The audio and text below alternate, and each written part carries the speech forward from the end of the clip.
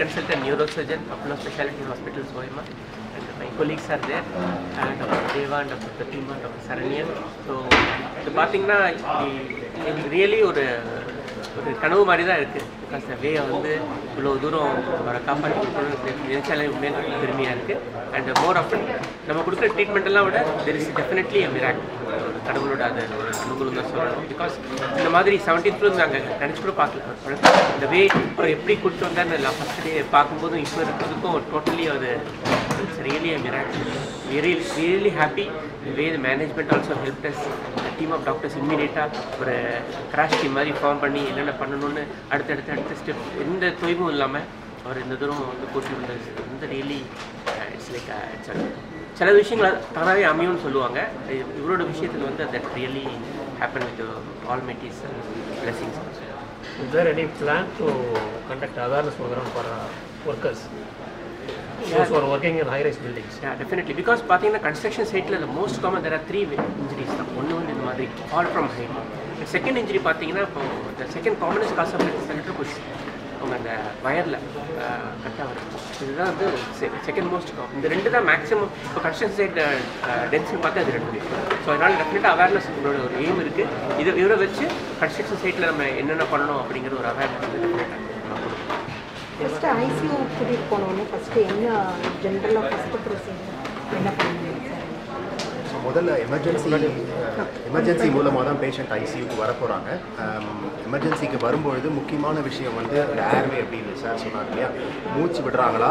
Oxygen கிடைக்குதா? அதுதான் முக்கியமானது. ஆக்சிஜன் போயிருந்தது ஸோ அதை திறந்து அந்த டியூபை வச்ச பிறகு அவரால் மூச்சு விட முடிஞ்சது ஒன்று ரெண்டாவது pulse and blood pressure so அது ரெண்டு. நிறைய எலும்புகள் உடஞ்சிருந்தது. லிவரில் அவருக்கு அடிபட்டு அதில் ரத்தம் போயிட்டு இருந்தது வலது கிட்னியில் அடிபட்டு ரத்தம் போயிட்டு இருந்தது ஸோ அதன் காரணமாக அவருடைய பிளட் ப்ரெஷர் வந்து ரொம்ப குறைவாக இருந்தது. Um, ரெண்டாவது அது ரிசசிட்டேஷன் அப்படின்னு சொல்லுவோம். Um, ஃப்ளூயிட்ஸும் கொடுத்தோம். Uh, பிளட் ப்ராடக்ட்ஸும் கொடுத்தோம். அது கொடுக்குறது. அண்ட் அந்த ரத்தம் போகிறத தடுக்கிறதுக்கு ஒரு மருந்து. அதையும் மூணு மணி நேரத்தில் கொடுத்தாக்கா அந்த ரத்தப்போக்கு குறையும்.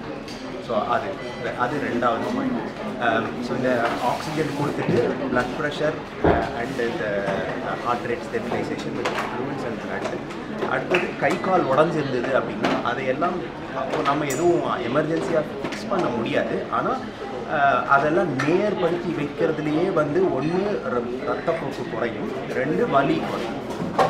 உடஞ்சி இவரோட கால் திரும்பி இருந்து பாதம் வந்து பின்பக்கமாக ரெண்டு பாதம்.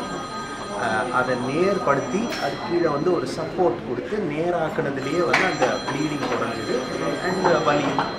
ஸோ இதுதான் ஃபஸ்ட்டு பண்ணுறது இதுக்கு வந்து ப்ரைமரி சர்வே அப்படின்னு சொல்லுவோம். உலகம் முழுக்க இதுதான் ஃபாலோ பண்ணுறது ரோமா பிரின்சிபல் நம்பர் ஒன் அப்படின்னு சொல்லுவோம். இந்த மாதிரி நிறைய அடிபட்டு வர்றவங்களுக்கு அதுதான் முதல். அதுக்கப்புறம் அதை அப்படியே தொடரணும் இன்டென்சிவ் கூட்டிகிட்டு வந்து அது வெறுமனே அது அப்படியே கண்டினியூ பண்ணால் பத்தாது. ஆக்சிஜன் உள்ளே போகணும் எல்லா உறுப்புகளுக்கும் போகணும் அவருக்கு நியூட்ரிஷன் தேவை அவருக்கு பிளட்டு தேவை வேறு என்னென்ன அவருக்கு அடிப்படையான அடிப்படையான உறவு என்ன வேணுமோ அது எல்லாமே பண்ணணும். ஐசியூ பொறுத்தளவு ஜெனரல் கண்டிஷன் ஒழுங்காக மெயின்டைன் பண்ணணும். You have to give the field for other doctors to work மற்ற உறுப்பினர்கள் டீம் மெம்பர்ஸ் வந்து வேலை செய்கிறதுக்கு அவங்களோட ஒப்பீனியன் கொடுத்து அந்த சர்ஜரி எல்லாமே என்னென்ன வேணுமோ அவருக்கு ஏற்ற மாதிரி செய்கிறதுக்கு நாங்கள் வந்து ஒரு கிரவுண்டு மாதிரி இருக்கோம். சைக்காலஜி ரிலேட்டடாக என்ன மாதிரிலாம் செஷன்ஸ் இருக்கும் எப்படி ஃபஸ்ட்டு வரது ஒன்று அவருக்கு தெரியாமல் அவர் இன்னும் நினைவு வராமல் இருக்கும் போது இருக்க வழிகளையும் மேனேஜ் பண்ணினாதான் அவரோட இம்ப்ரூவ்மெண்ட் பெட்டராக இருக்கும். சார் முன்னாடி சொன்னாங்க அவர் முழிச்ச உடனே கொஞ்சம் அவருக்கு அந்த கன்ஃபியூஷன்ஸ் கொஞ்சம் இரிட்டேஷன்ஸ் அஜிடேஷன்ஸ் எல்லாமே இருந்தது. அதுக்கு சைக்கியாட்ரிஸ்டோட கவுன்சிலிங் அண்ட் மெடிசின்ஸ் ரெண்டுமே. நான் ஃபார்மகாலஜிக்கல்னு சொல்லுவோம். மருந்துகள் இல்லாமல் மற்ற சிகிச்சையும் கவுன்சிலிங் மூலமாக கொடுக்கணும். Uh, தேவைப்படும் சார். ஆனால் இப்போ இருந்ததை விட போக போக குறையும். இந்த ரிட்டர்ன்ஸ் டு ஹிஸ் நார்மல் லைஃப்னு சொல்லுவாங்க இல்லையா? அவங்க நார்மல் லைஃப் அவரோட இயல்பான சூழ்நிலைக்கு போகும்போது எல்லாமே வீட்டுக்கு வீட்டுக்கு போக ஆரம்பிச்சு அவங்க ஃபேமிலி மெம்பர்ஸ் ஃப்ரெண்ட்ஸ் எல்லாம் பார்க்கும்போது ஜென்ரலாக தான் ஹாஸ்பிட்டல் இருக்கிறத விட வீட்டுக்கு போனால் ரெக்கவரி இன்னும் ஃபாஸ்ட்டாக இருக்கும். இந்த இந்த காக்னேட்டிவ் ரீஹாபிலிட்டேஷன் சொல்லுவோம். கை காலுக்கு வந்து நம்ம ஃபிசியோதெரப்பின்னு சொல்லுவோம்.